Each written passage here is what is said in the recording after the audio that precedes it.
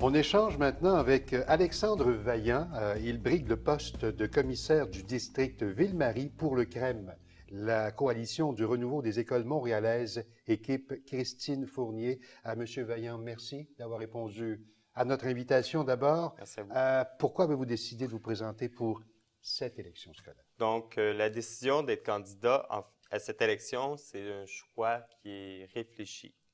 Euh, je dirais que un changement est maintenant requis. Euh, nous avons le devoir de pouvoir faire les choses autrement. Donc, on a le choix de décider entre l'indifférence Hmm. ou d'agir. Moi, j'ai simplement décidé d'agir. Monsieur Vaillant, pourquoi cette équipe? Pourquoi euh, le CREM, précisément? Euh, ben, l'équipe du Crème, c'est pas un parti, c'est en fait une équipe de différents de gens qui viennent de différents horizons et puis sans aucune ligne de parti. Donc ma réflexion m'a fait réaliser que euh, que puisque chaque comté, la commission scolaire de Montréal, Ouais. a des réalités différentes, donc c'est bien d'avoir des gens d'horizons différents pour représenter euh, ces comtés qui sont en fait euh, victimes d'une politique uniforme présentement de la commission scolaire. j'ai- J'aimerais aborder quelques dossiers avec vous. Oui. OK, d'abord, euh, sur la remise en question de l'existence de l'école Pierre Dupuis. Oui. euh, que faire pour, euh, comment dire, euh, augmenter les effectifs de cette école et éviter cette fermeture? Donc, euh, présentement, c'est ça, c'est en réduction. Mais il faut comprendre que il faut mettre une politique en place pour contrer, premièrement, le décrochage scolaire. Deuxièmement, il faut changer les mentalités, puisque les parents ils ont tendance à inscrire leur- leurs enfants à d'autres écoles, puisqu'ils ont- sont un peu inquiets du fait que euh, il y a aussi, la, la- c'est partagé avec la formation euh, professionnelle du Centre des métiers des faubourgs. Mhm. Donc, euh, il est important de vraiment changer les mentalités à ce niveau-là. Euh, mais est-ce mais- que, est Oui. que le scénario d'en faire une école euh, à vocation particulière est sur la table? Euh, c'est probablement envisageable. Ça va être à discuter avec euh, tous les gens au niveau de la société, du conseil d'établissement, du comité des parents. Mm. Euh, ch- chose que j'ai l'intention de consulter fréquemment. Mais aussi, il faut comprendre qu'il y a un aspect démographique. Dans les prochaines années, en- comme la stati- le- l'Institut de la statistique du Québec stipule, c'est qu'en 2003, il y avait 72 000 naissances au Québec, alors qu'il y en a 89 000 en 2013. Un bébé boom, là. Oui, tout à fait. Donc, du coup, juste pour Montréal, c'est 4000 enfants de plus par année. Donc, on va, on va avoir une augmentation de 20 000 personnes de population étudiante. Donc, à partir du moment où vous avez cette augmentation, que comptez-vous faire? On compte, évidemment, vu que les autres écoles vont se remplir, mais Pierre Dupuis, il va falloir remplir la capacité de Pierre Dupuis le plus possible. Donc, c'est sûr que Pierre Dupuis va absorber euh, un nombre euh, suffisant euh, d'étudiants. Euh, Monsieur Vaillant, si on abordait euh, les grands défis de l'arrondissement Ville-Marie, quels sont vos objectifs précis en matière de lutte au décrochage scolaire? Donc, il faut comprendre que Ville-Marie vit avec des réalités diverses qui sont comme la pauvreté, par exemple. Euh, donc, nos écoles de formation, dans le fond, c'est important de les mettre au cœur, de contrer le décrochage scolaire. Ayant moi-même été décrochage, je peux très bien comprendre les réalités euh, qui, qui mènent à, la- Qui cause le Qui décrochage? cause, et c'est qui- ça, et qui exactement. peuvent amener à un Exactement. raccrochage éventuellement. ouais. Exactement. Moi, j'ai raccroché, j'ai j'ai persévéré, et puis ça a bien Donc, je connais très bien, il faut augmenter les services aussi de francisation pour les immigrants, faire en sorte de former ce- ces gens-là.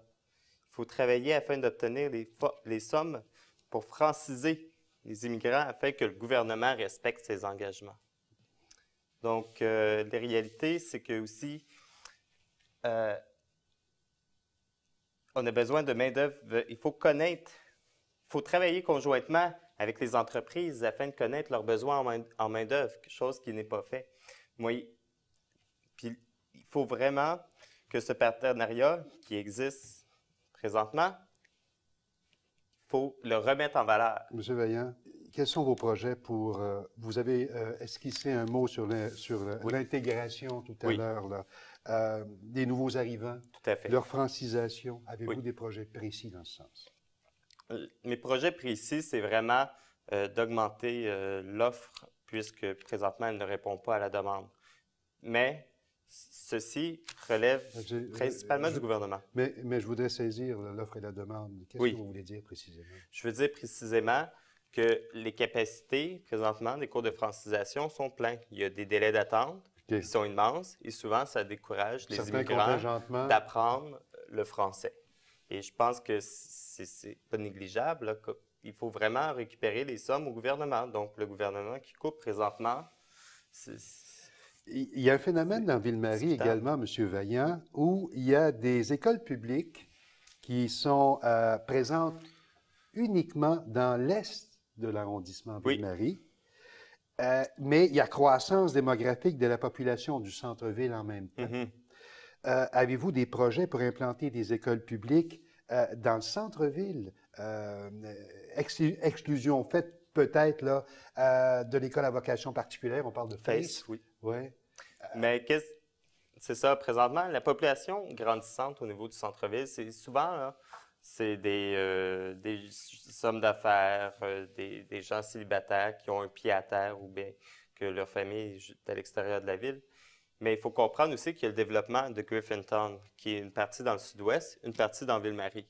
Mais les autorités gouvernementales n'ont pas prévu de terrain pour le développement d'une école, alors qu'ils souhaitent de Mais est-ce que c'est dans vos boîtes à carton? Un quartier familial. Mais, mais, mais déjà, vous êtes élu. Oui. Par exemple, allez-vous euh, euh, travailler dans ce sens? Je vais travailler dans ce sens pour avoir un terrain pour faire construire une école dans les prochaines années. Je crois que c'est un besoin qui est urgent, puis il faut agir. Monsieur Vaillant, le temps file. Euh, vos autres priorités pour Ville-Marie? OK. Donc, mes autres priorités, c'est de donc travailler conjointement à unir les différentes communautés homosexuelles, les gens d'affaires, mm-hmm. universitaires. Euh, donc, c'est ça, de faire une collaboration ensemble euh, pour développer une vision d'avenir concrète pour, euh, pour nos jeunes, pour les écoles. On a une minute encore, oui. M. Vaillant, et j'aimerais que vous l'utilisiez cette minute pour Qu'est-ce que vous dites aux gens pour les convaincre d'aller voter pour M. Veillant, puis d'aller voter également le 2 novembre prochain? OK, dans le fond, il faut voter. Il faut voter dans la mesure que c'est un choix sérieux et depuis longtemps, la commission scolaire fait face à un grand problème de gouvernance. Donc, euh, il est temps de voter pour changer cela aujourd'hui. Et moi, je me présente pour agir. Et en plus, de plus en plus, le gouvernement impose donc des programmes mur à mur sans consultation. Donc, moi, j'ai l'intention d'agir avec l'équipe du CREM. Christine Fournier, c'est une dame de conviction et de rigueur. Et la CSDM a besoin d'elle et a besoin de tous les candidats du CREM pour aller vers le renouveau. Merci beaucoup, Alexandre Vaillant. Merci à vous.